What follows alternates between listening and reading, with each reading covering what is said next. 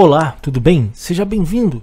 Eu sou o Thiago e nesse vídeo estarei falando sobre uma ferramenta incrível, que é a ferramenta Google Camp, que é uma ferramenta útil para que você possa fazer suas anotações e também seus lembretes. Sabe aquela reunião que você precisa ir e não pode esquecer de forma alguma, ou aquele compromisso que você marcou? Pois bem, nesta ferramenta, neste aplicativo, você pode fazer essas anotações. Você vai conseguir baixar ele tanto na loja da Google Play, como também usar no navegador do Google e é sincronizado. Eu vou fazer aqui uma anotação pelo celular, clicando na opção mais, que tem bem aqui, e agora eu vou colocar um nome e uma nota. Então, o nome será dentista e a nota é ir para o dentista. Eu tenho aqui a opção de fixar a anotação ao topo. Quando eu tenho muitas anotações, ela fica aqui no, no topo aqui fixa, né? Eu tenho aqui o ícone de notificação para poder me avisar dessa anotação. Então eu vou escolher aqui a hora, escolha uma data, a data do, do compromisso. E aqui embaixo eu vou escolher a hora, escolha uma hora. Eu vou escolher aqui a hora 16 horas 4 da tarde, 16 horas. Vou clicar em OK. Aqui você escolhe se quer que repita ou não. Eu vou deixar sem repetir. Aqui eu tenho a opção lugar. Eu posso colocar aqui um local marcado tá? no, no lembrete. Não vou deixar nada aqui. Só assim e vou salvar. Bom, ir ao dentista. O horário já está confirmado aqui.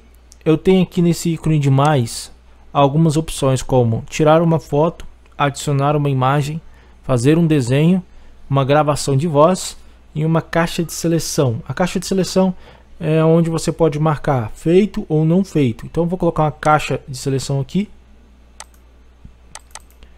Aqui já tem o nome ir para o dentista. Não ir para o dentista. Eu vou colocar assim, tá? Não foi ao dentista, é melhor. Bom, tem uma caixa de seleção.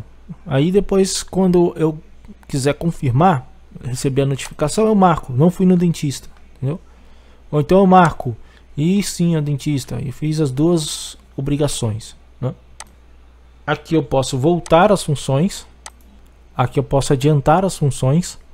Nesses três riscos, eu posso mudar de cor a essa nota, deixar, por exemplo, verde, eu costumo usar como notas importantes. Então eu vou deixar verde que eu posso adicionar um colaborador, se você tiver algumas pessoas no grupo da família, tá? Eu não tenho, então não vou colocar. Então, excluir, fazer uma cópia, enviar, colaborador e marcadores. Aqui nesse ícone aqui, né? Aqui em cima eu tenho ocultar caixas de seleção. E aqui no final eu tenho a opção para arquivar. Então as notas arquivadas elas vão ficar aqui, ó, nesses três pontinhos, arquivo. Então, se você não quiser que ela fique arquivada, você volta, clica nela aqui, ó, ó nota desarquivada. Pronto. Agora sim, o lembrete vai funcionar. Se você arquivar, o lembrete não vai funcionar, certo? Tem que deixar a nota arquivada. Ah, aliás, a nota aqui em notas, tá? Já ativa. Você pode, em vez de criar uma nota, criar um lembrete, né? Na opção lembrete, você clica aqui, lembrete dentista, vai aparecer aqui, coloca, clica no mais, que ele vai formar um lembrete, tá? Essa ferramenta, ela conta aqui com uma opção de criar novo marcador, por exemplo, ideias, ideias para o canal. Então quando eu tiver uma ideia legal, nossa, que ideia bacana, eu posso colocar aqui ideias para o canal e salvar aqui no meu marcador. Então vamos criar uma ideia para o canal? Então vamos lá. Vou vir aqui no mais. É, falar de Neymar. Novo óculos.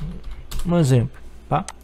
Falar de Neymar, novo óculos, anotações feitas, beleza. Só sair. Não vou colocar uma cor aqui, primeiro, vou colocar um rosa bem fraquinho. Vou voltar e sair, certo? Notas. Aqui, ó. Falar do Neymar. Agora eu vou jogar ele lá na no meu esqueci de jogar ele lá no na opção de marcadores. Então vou vir aqui, clicar nos três pontinhos, marcadores, ideias para o canal. Pronto. Então, se eu vier aqui e clicar ideias para o canal, a minha nota vai aparecer aqui. Então eu posso criar aqui várias opções de marcadores. Por exemplo, livros, anotações de livros. E aqui quando eu tiver uma anotação, jogar aqui dentro. Então, criei aqui dois marcadores que eu acho que é o suficiente para mim. Aqui embaixo, arquivos, né? Quando você joga uma nota no arquivo, ele vai aparecer aqui. Aqui a lixeira, que mostra as notas que você já excluiu. Aqui são opções de configurações que você pode configurar aqui quando começa a sua manhã, sua tarde e seu fim de tarde. Aqui você pode também configurar outras opções aqui, adicionar novos itens na parte interior e tal, tal, tal, inferior, né? Só um resumo rápido aqui pelo desktop. Aqui ficam as notas, certo? Aqui você cria uma nova nota Aqui tem a opção de fixar, é a mesma daquela. Aqui a opção de lembrar, é a mesma coisa. Aqui colaborador, aqui você muda a cor. Aqui você adiciona uma imagem. Aqui você faz um arquivamento. Aqui tem a opção de mais, quando você clicar, vai ter a opção adicionar no marcador, que é aquela para escolher qual é a página que vai ficar, né, que você separou do marcador. Aí, adicionar desenho, mostrar caixa de seleção. É a mesma coisa. Entendeu? Não tem segredo. Lembretes, anotações de livros, que são as, os marcadores que eu criei, ideias do canal, editar marcadores, você pode criar um novo marcador aqui. Lixeira. Bom que ele sincroniza, bom que você escolhe aqui as anotações separadas por cores e deixa bem organizado. Aonde você precisar, você vai ter essas anotações na sua conta do Google, tá? Bom, espero que tenha te ajudado. Qualquer dúvida, deixe nos comentários. Valeu, pessoal. Se inscreva aí no canal, ajude o canal a crescer, tá? Se inscrevendo, comentando, compartilhando essa ideia com outras pessoas. Vai estar ajudando muito. Valeu e até a próxima.